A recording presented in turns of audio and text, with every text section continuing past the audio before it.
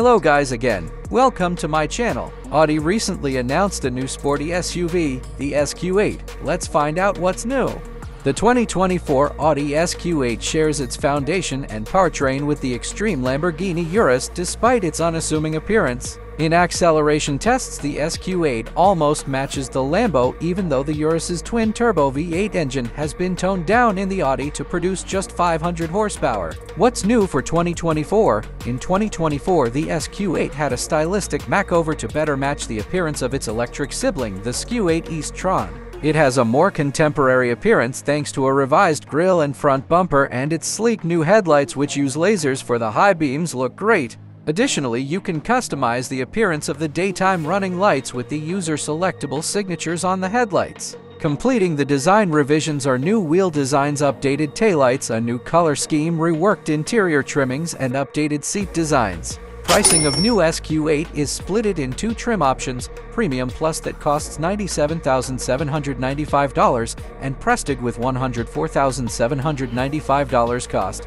Any SQ8 model you choose you'll receive the same driving experience because they're all equipped with the best performance-enhancing equipment Audi has to offer. The SQ8's well-known 4.0-liter V8 twin-turbo engine produces 568 pounds-feet of torque and 500 horsepower. It also comes standard with an 8-speed automated gearbox and all-wheel drive.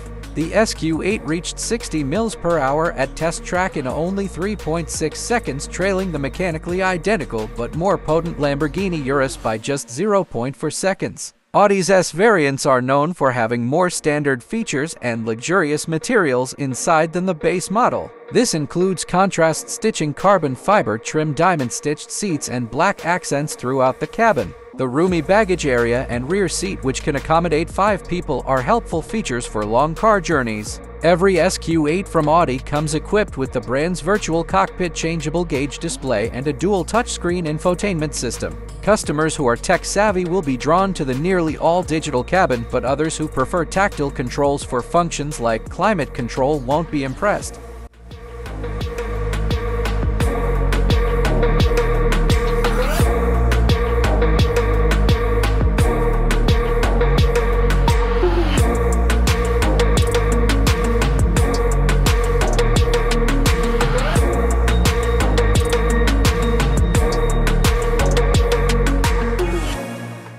I hope you all enjoyed the video. Feel free to comment about it and hit the like button if you think it was useful. Have a great day and see you next time.